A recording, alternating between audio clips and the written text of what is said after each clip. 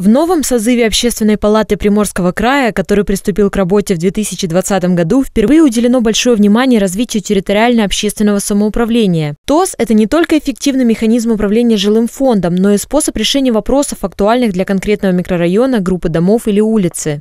ТОС расшифровывается территориальное общественное самоуправление, то есть когда несколько домов объединяются вместе, э, чтобы решать э, совместные проблемы, задачи. Э, ровно те дома объединяются, у которых есть общие интересы. Допустим, общий двор, общий проезд или, допустим, пустырь, который они хотят преобразовать в сквер.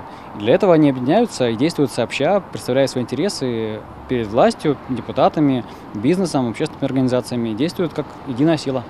Мы все с вами живем в домах. И надо понимать, что никто за вас а, не придет и не побеспокоится за ваш двор, за ваш дом, за вашу квартиру. И а, это шикарный инструмент а, для повышения контроля за территорией, где вы живете, и повышения осознанности нас всех. И поэтому это часть работы нашей, как э, палаты, развития нашего общества, развития осознанности нашего общества.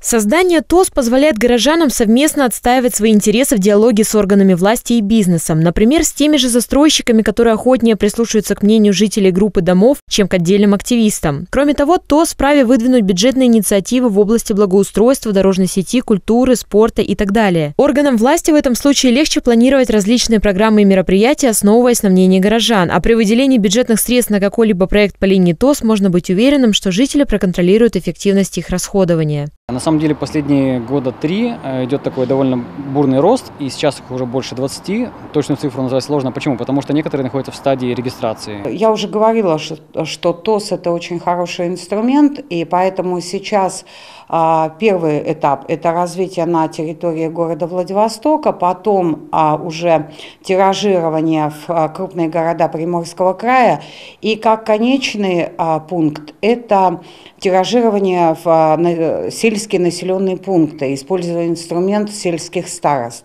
Потому что а, в деревне каждый живет в своем дворе, вроде как его территория, а дороги, а площадки. И а, мне кажется, что на, в сельских населенных пунктах а, ТОС очень нужен. И мы туда придем. С 2017 года число ТОС выросло в 7 раз и продолжает расти. Инициатива к общественному самоуправлению очень полюбилась жителям Владивостока. Екатерина Зверева, Денис Фадеев. Новости на восьмом.